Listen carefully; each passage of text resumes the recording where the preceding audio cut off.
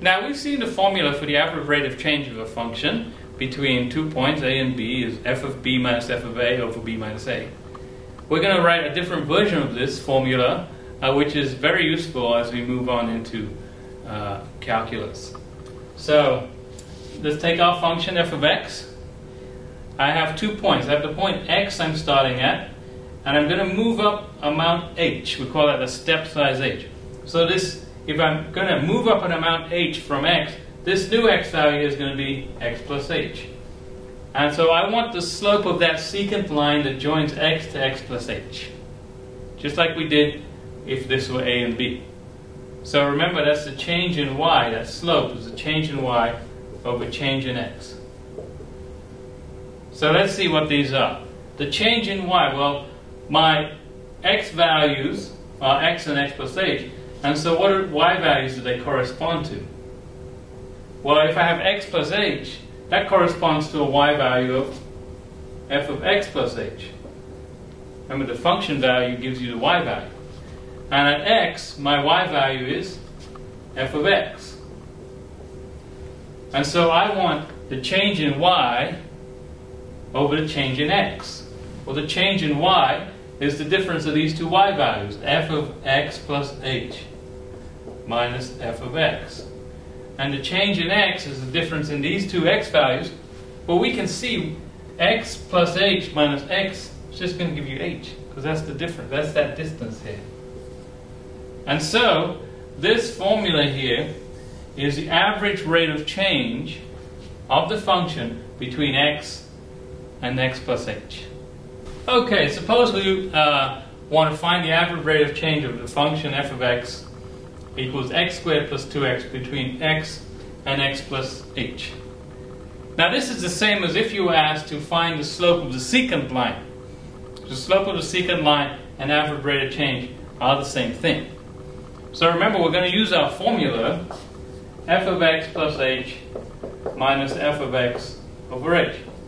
And you're not given any particular number. We're just going to find a general formula for the slope of that line or the average rate of change for this function. So you have to get used to that idea. We're not looking for a number, we're actually looking for another expression that gives us that average rate of change for any x value and step size we would want to plug in. Okay, so let's do this. f of x plus h. First of all, what's that going to be? Well, that means plug in x plus h into my function here for x. So we'll have x plus h squared plus 2 times x plus h. That's anyway there was an x, I plug in an x plus h. And let's simplify that. x plus h squared plus 2 times x plus h, well that's going to be falling out x squared plus 2xh plus h squared plus 2x plus 2h. That's f of x plus h. f of x well, what was f of x? f of x was x squared plus 2x. We have to subtract them. We have to subtract them. We're going to take this minus this. Okay, so putting that together, this minus this, what we're going to have is this here, x squared plus 2xh plus h squared plus 2x plus 2h minus x squared minus x squared minus 2x. Remember, you're subtracting the entire thing. You have to distribute the negative in the second term as well. Once you get that, some neat things happen here. x squareds and x squares cancel because x squared minus x squared is 0. And 2x minus 2x cancel because 2x minus 2x is 0.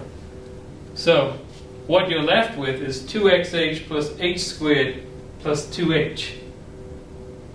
So let's write that. Remember, we haven't divided by h yet. We still have to divide by h. So I'm going to erase this and put this term here and then divide by h. So we have 2xh plus h squared plus 2h all divided by h. And so an h can factor out from the top here. So we have an h, we factor out an h, and we get 2x plus h plus 2. We factor out an h, divided by h, notice this h was cancelled with this h. And so what we end up with is 2x plus h plus 2.